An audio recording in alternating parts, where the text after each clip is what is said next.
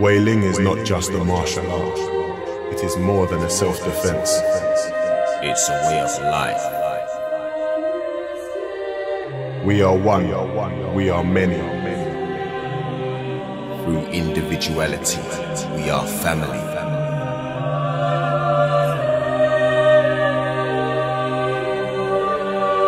This is an art of creativity. This is an art of expression.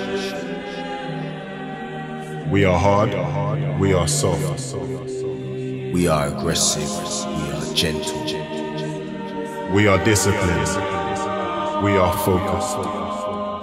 We are warriors. This is Wayling.